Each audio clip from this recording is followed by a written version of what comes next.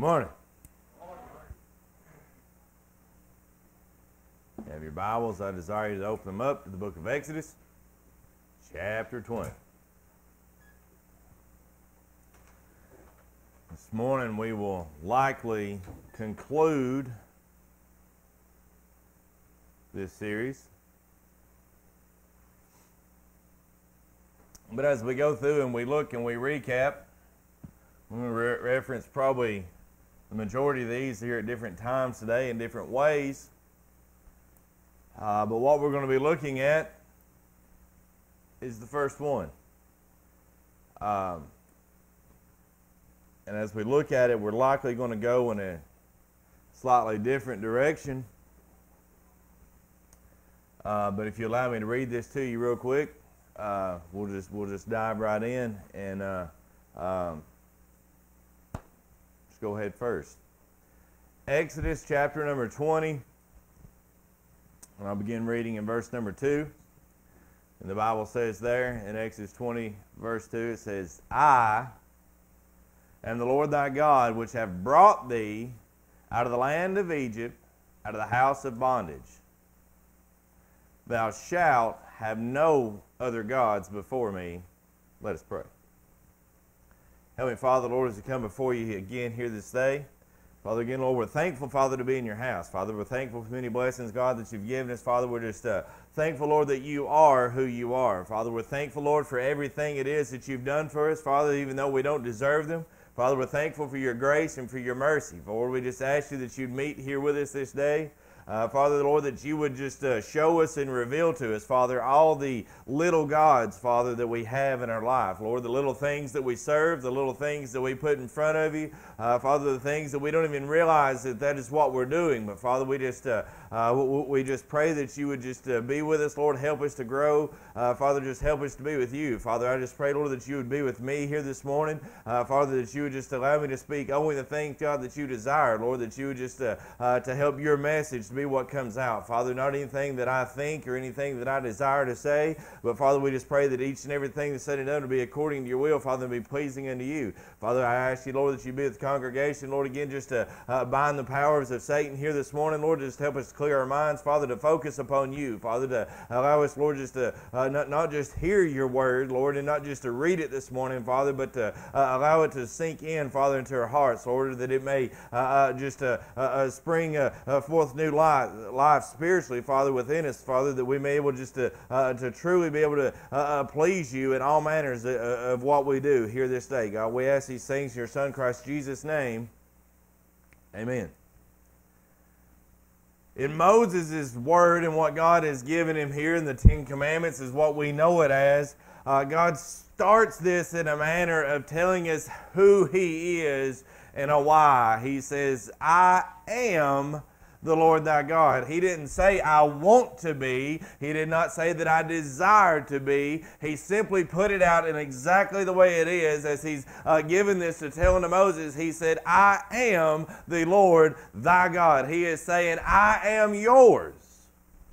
That is important for you and I to know because long before God saved us, He already had the desire to be our God. He had a desire for us to be able to serve Him. He starts that off I am the Lord thy God. So he starts the sentence, he starts the story that way.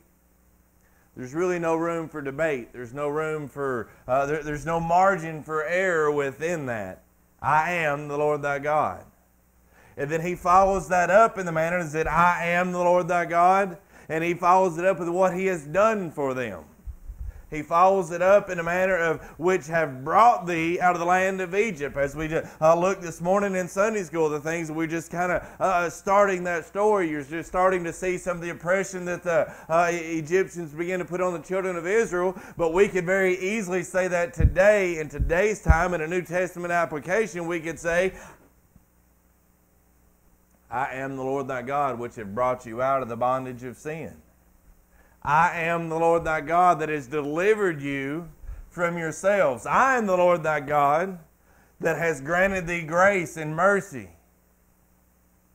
We could say whatever we want to say, but it's going to start with I am the Lord thy God.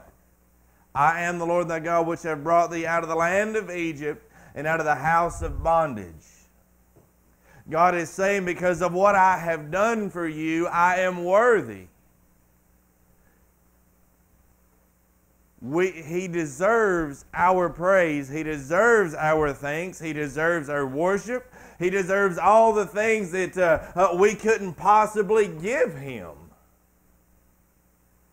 But he is well deserving of that And looking at what he has done and delivered and, and brought forth to his people from the very beginning generations all the way through until today. I am the Lord thy God. But he's saying, because of these things that I have done, thou shalt have no other gods before me. And those are little g gods. As we've talked and went through these, we've, uh, we've identified a lot of other gods that we can have. We've identified, we've looked at covetous. Uh, you get into Colossians, I believe you find it in the third chapter, you'll find that covetous is idolatry. Things that we truly covet becomes idols. If they are idols, they are things that are coming before God. Whether we want to argue the fact that they are coming before Him or coming after Him, either way, it becomes idols that begin to, uh, we devote our time and our attention unto. Thou shalt have no other gods before me.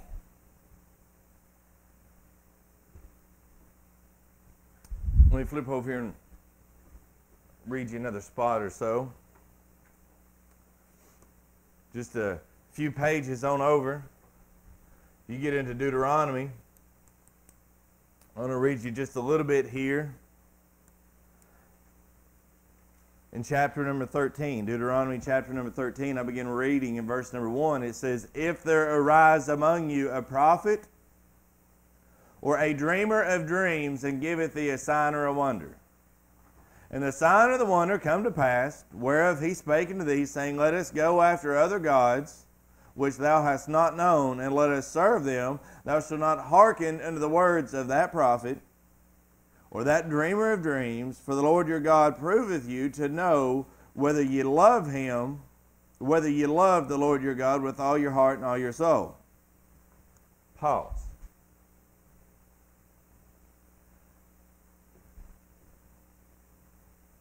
What's being brought before the, the, the, the, children at this point is the fact that God is not denying that there may be other. Well, we get into New Testament places. You can find even in the Old Testament. You can look at uh, uh, uh things of the false teachers and of Antichrist and uh, uh people who can uh, sorcerers, wizards, whatever you want to throw out there. God is cautioning you and I not to be dismayed and not to fall into that, uh, uh, that, that pit, if you will. Uh, God is desiring you and I to stay the course and to stay focused upon Him. He said, even though there may be some people that could tell you whatever it is that you might want to hear, and it just might so happen to come to pass, you are not to follow after them. He is desiring us to say them, but get into that, uh, that, that uh, second half, if you will, of verse number three God proveth you to know whether ye love the Lord your God. Notice the words that are used. To know whether you love the Lord your God with all your heart and with all of your soul. It gets back into being of a personal manner. Come back up top. Thou shalt have no other gods before me. What would make things come before God? We can have class participation. You're allowed to speak at this point. What would make you have something come before Him? It would be a strong like or desire or interest in whatever that might be. We might could say it's because you love something. Do you know why most children get put before God? It's because the parents truly love them. Do you know why many spouses get put before God? It's because the, uh, the other one truly loves them. There is a deep rooted, uh, uh, strong connection and bond and love that is there. And I think at this point we can identify the problem why we constantly have other gods that come before our God, the one true God, the living God, the God who has said that He is a jealous God. The God who has said He is a God of mercy and a God of truth and a God of wrath. The, the God who has said that, that I am, I, that I am. God desires to know whether we love Him with all of our heart and with all of our soul. And then it comes down in verse number four and it says, Ye shall. The words, the tone, even the descriptors that is here, we can look and we can see, Thou shalt not. That means there's no debate. We're not going to do that. So when you find the opposite thereof saying ye shall, this is a then becomes a must. It's not anything that's optional. It's not negotiable. It is what it is. Ye shall walk after the Lord your God and fear him and keep his commandments and obey his voice and ye shall serve him and cleave to Him. Be close to Him, cling. Um, we get other gods that come before our God because we find ourselves with love for something other than God.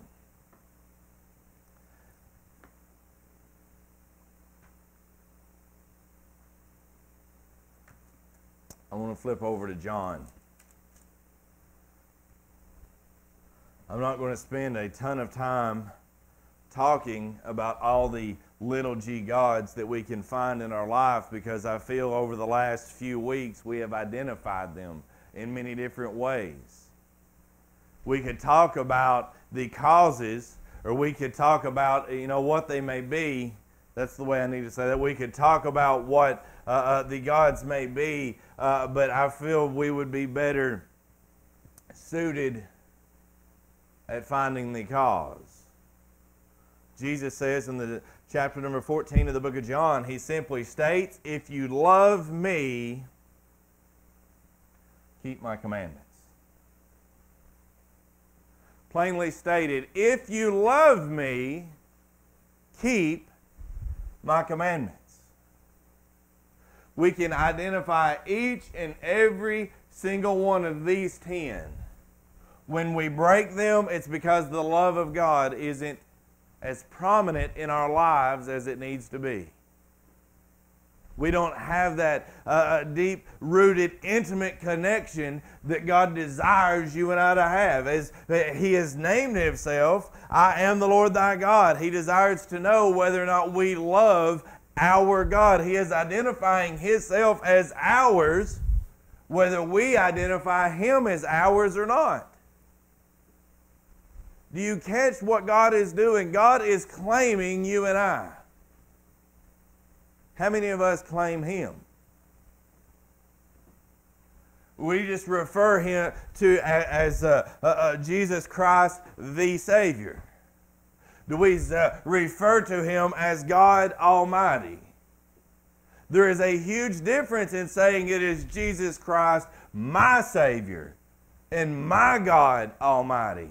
There is a huge difference in us claiming Him and us simply referencing Him. But in every way that we have looked at this morning, God is already laying claim to you and I. And He is stating that as being He is our God. To even the lost people out here, God is still their God. He is still the God Almighty. They may not know Him.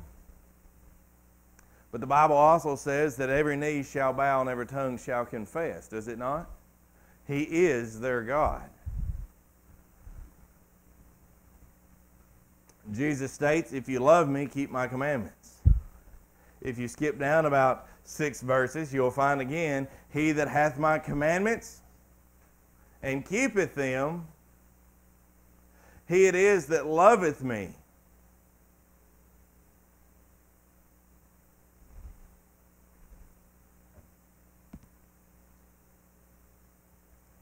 and he that loveth me shall be loved of my Father. and I will love him, and I will manifest myself to him.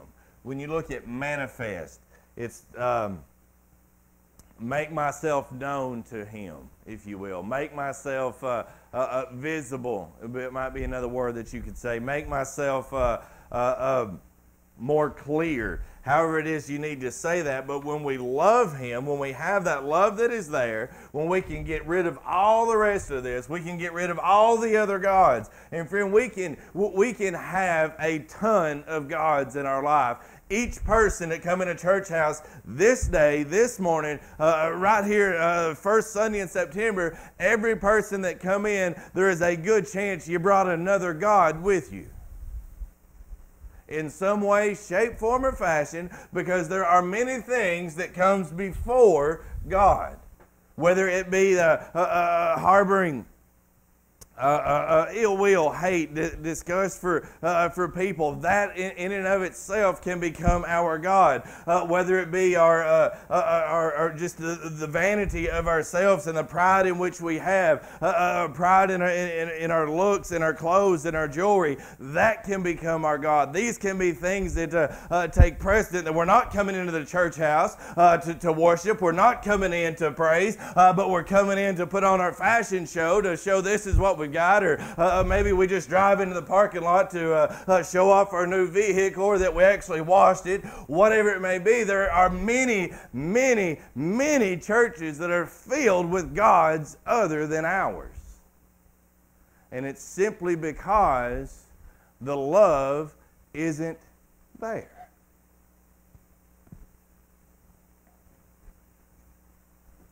Look at the three Hebrew children. Shadrach, Meshach, and Abednego. We've not been forced or we've not been faced with death if we worship in America. We've not.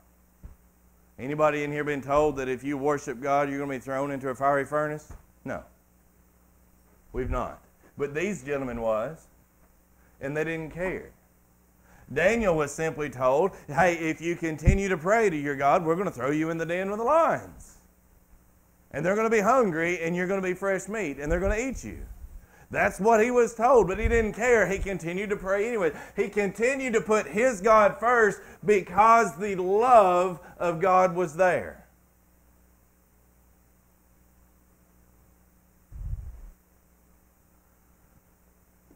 How many of you present have faced some type of persecution.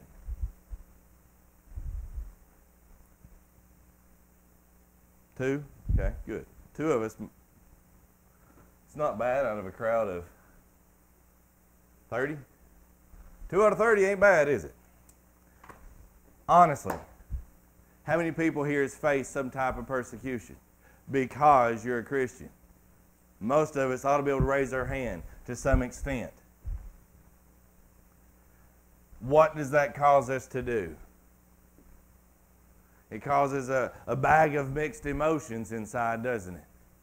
We're not sure of really, uh, you know, the, the, the, Bible tells us to glory in those, in those times and to uh, uh be, be thankful that somebody saw enough Christ in us to even be mad at us or to hate us for, uh, for associating with Christ. The Bible tells us to do that, but the flesh tells us that this ain't good. We don't want this. We don't want to feel that way. Uh, we don't want to be treated in such manners. And oftentimes we will take just a few steps back to try to blend back into the middle somewhere.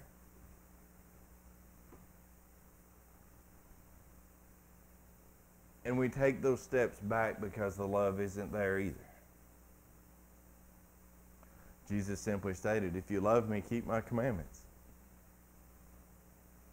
Look at the things that Christ told us. He taught us that if we were ashamed of Him, He would be ashamed of us. Not only would He be ashamed of us before His Father, He'd be ashamed of us before the angels. He'd be ashamed of us. And we, being Christian people and us being church going people, we are not going to say that we are ever ashamed. We're not going to say that because we don't want to say that. We have been taught not to say that. But what we do is we just simply don't speak at all. We won't proclaim this or that. And we, we just really want to just to stay right here in the middle. We don't want to stick out in the front and we don't want to stick out in the back. We just want to blend in so we can get through this thing called life so we can make it to this place called glory. We just simply want to just roll with it, don't we? And we want to do that because the love of God isn't there.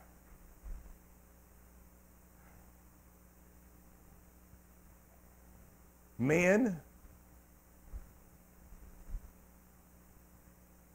how many of you had the opportunity to step out on your wife? Women, how many of you have had the opportunity to step out on your husband? Why didn't you? Because you loved him. You didn't because it would destroy that relationship that would be there. You didn't because you had love care and affection and an intimate relationship with your spouse. That's why you didn't. Do you know why we have all the little g gods in front of our God? Because that love isn't there. It has nothing to do. We can say it's a flesh problem. We can call it a sin problem. We can say that we was born this way. Yes, we was. We was all born sinners, guarantee it. It takes the same amount of grace to save you and I that's been raised in church as it takes to, uh, to save the most wicked, vile person you could ever imagine. The same blood was shed on the same cross of Calvary, and it takes the exact same amount of grace.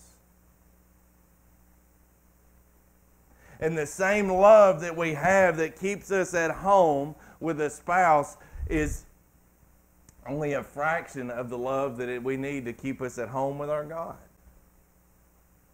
If you love me, keep my commandments. Jesus goes on to say in verse number 23 of the 14th chapter of the book of John, he says, If a man love me, he will keep my words, and my Father will love him, and we will come into him and make our abode with him. He that loveth me not, keepeth not my sayings. And the word which you hear is not mine, but the Father's which sent me.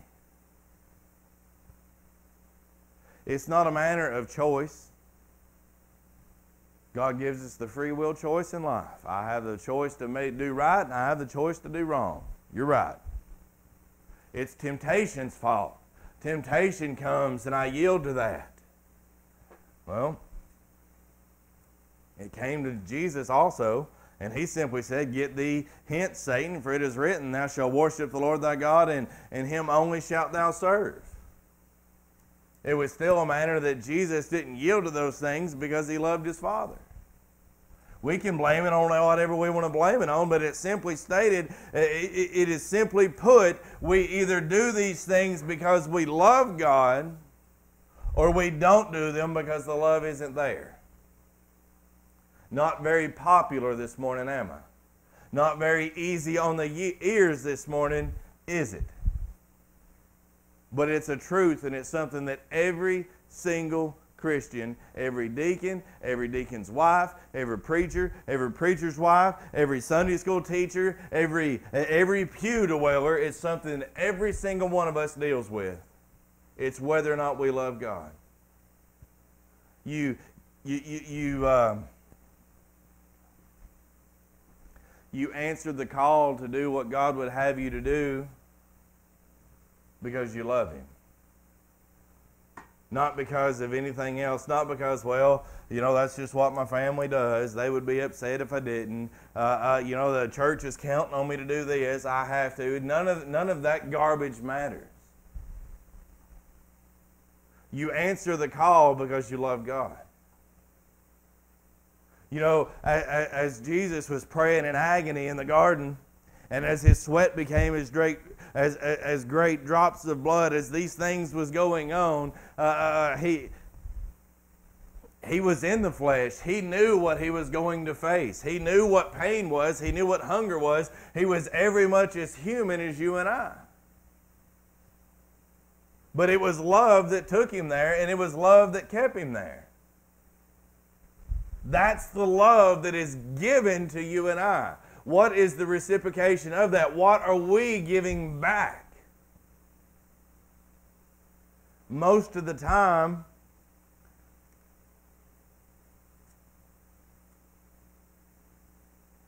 I won't even say most. I'll say, even if we phrase it as some of the time, that's still not acceptable. But some of the time, it's minimal effort. The least we can get by with. Go back through each one of these. It has to do with the love of God. We love God and we're content with what we have.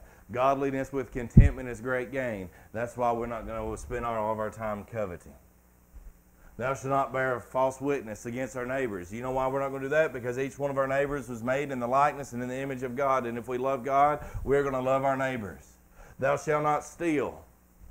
We're not going to go steal it because we love God and we trust that He is going to provide all the things that we need. Thou shalt not kill. We're not going to do that either because we love God and we understand that vengeance is His. Honor thy father and mother. Well, God is your heavenly Father. If we're not going to honor our father and mother on earth, we're probably not going to honor Him. It's all coming back down to love. Remember the Sabbath day to keep it holy. You know, if we truly love God, we ain't got to worry about coming to church and making our presence known. Because we're not coming here to satisfy the congregation. We're not coming here to make the numbers go up. And we ain't coming here to help the offering. We are coming to this place because we love God. Thou shalt not take the name of the Lord thy God in vain. If we truly love him, that's not even going to be an option either. Thou shalt not make unto thee any graven images, and thou shalt have no other gods before me. These things are all obsolete if we if our heart is right and in the right condition to love God. All of this boils down to love.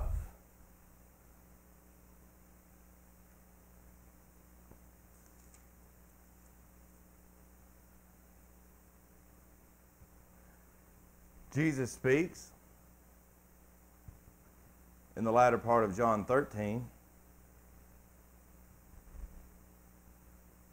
And as he is talking about the importance of his people, he is talking about the importance of Christianity as a whole.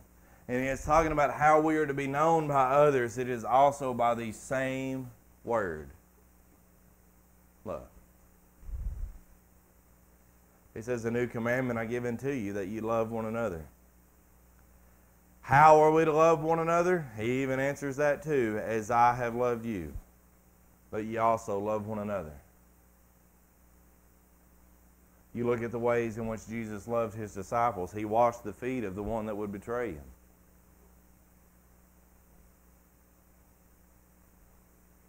Of all the things that he could have done to defend himself when the, uh, when the band of soldiers came to arrest him. He just simply came up and said, Here I am. I'm the one you're looking for. He loved them enough that he went to the cross. He loved them enough that he, uh, he, he left his home in glory and he lived with them. By this shall all men know that you are my disciples. Not that you are some disciples, not that you could be disciples, but he even again takes ownership in this and he's laying claim to you and I. By this shall all people know that you are mine if you have love one to another.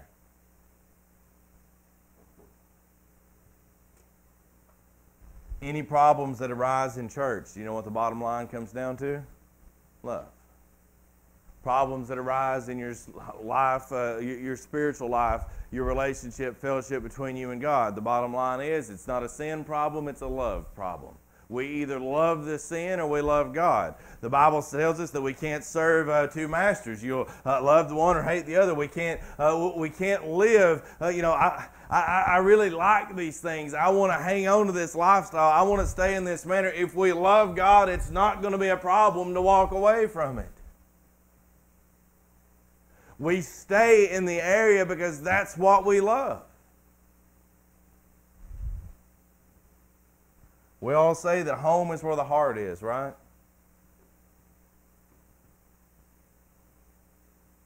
Where's your heart? we look at our home, I'm not talking about here, that our temporary place. I'm not talking about your address. I'm not talking about wherever it is that you find comfort. I'm now talking about our eternal home. A place that you and I have never seen. We've not got on we've not been able to get on Zillow and look at any of the real estate photos of this place because we've not seen that. We can't even fathom what this is going to be but our heart should be longing to go there. As the day of the Lord quickly approaches, the love should be growing more and more because it's not going to be that much longer until we get to see the Jesus that saved us, till we get to see our Savior, till we get to see the one who has delivered us from uh, all the uh, all the sickness, all the could have beens, all the uh, uh, all the possibilities, all the scenarios that we could ever imagine. We get to see the one who led the children of Israel uh, out of Egypt, till we get to see the one who took the nails.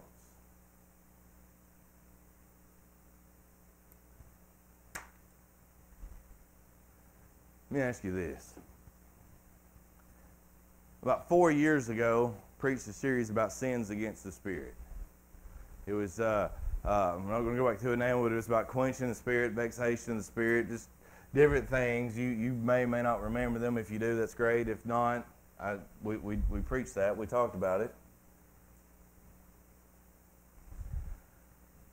Let's say Jesus comes through the back doors right now.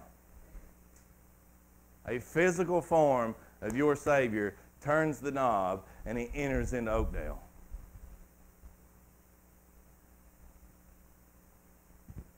Are we going to casually stand up and it's Jesus? Are we going to hurt one another to be able to get to him? To worship Him first? Are we going to say, well, let's let the kids go first. Let's let them go see him first. Hey, let's let some of the older ones get up there. Let's. Uh, it, it, it, may take them a few minutes. Hey, uh, you may hear this like really sick or got some uh, uh, ailments going. Hey, let's let them go so they can get some healing. Uh, or, or is that really what we're going to do? Spiritually speaking, what is inside of you is going to be busting to get to Him, to reunite with the one that knows one another. When Jesus comes in on the clouds of glory and He calls us home, we're not just going to nonchalantly walk up and say, Well, hi. That's not how it's going to happen, and that's not how we should treat him here. We do the best we can to keep all these uh, feelings and emotions buried to the point that nobody even really knows if anybody's Christians, anyways. We sit in churches all across the land with zero love and zero emotion. And it's not a climate of the church problem. It's not the way the preacher preaches problem. It is simply a heart condition and our love problem. And it's personal.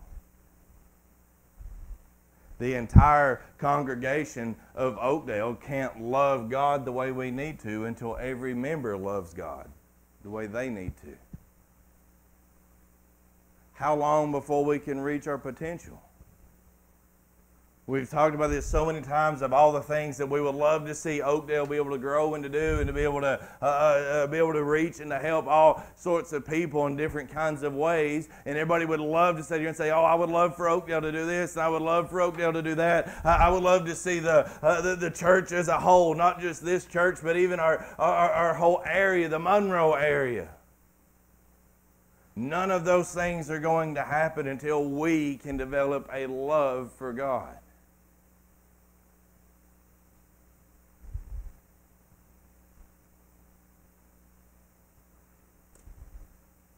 We have love for other things that we won't we won't give up.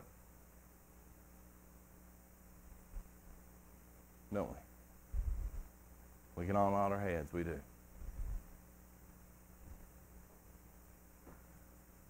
Fred, the doctor put you on a strict diet last little bit. Is there some things that you just really don't want to give up? And you're going to keep having them, ain't you?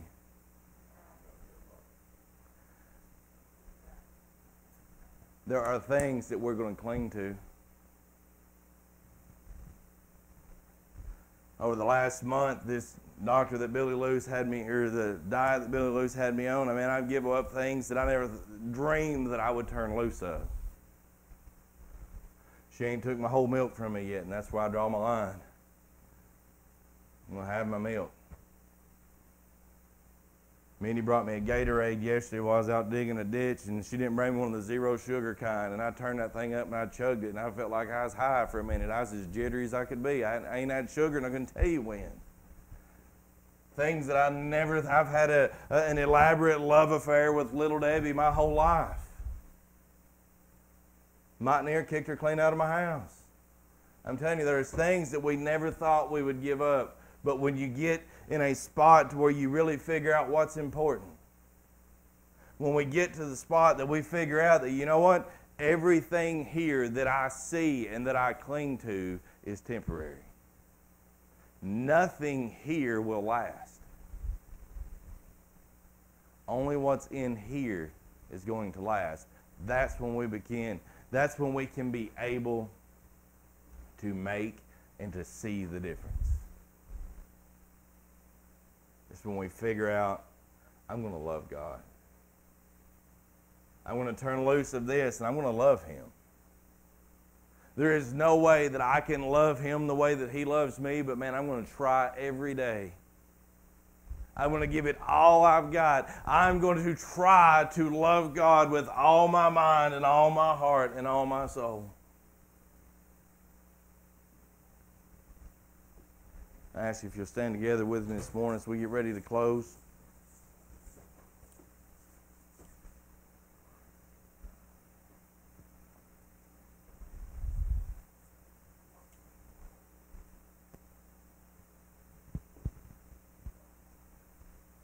My desire today and through these last few weeks has not been to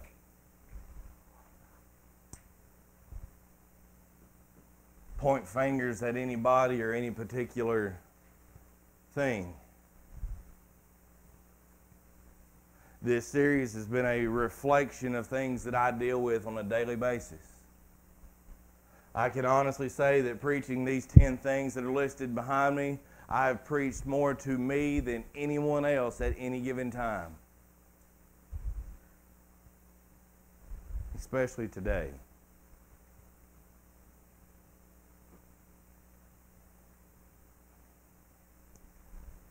We can all say that we have things that we enjoy and things that we love and things that we, we want. But until we can truly say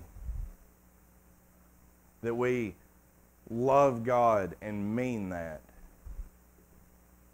until our congregation hits the point to where we can say that we love God above all things else, we love God, church, we can't grow we can't prosper and we can't move forward until that love for God is there.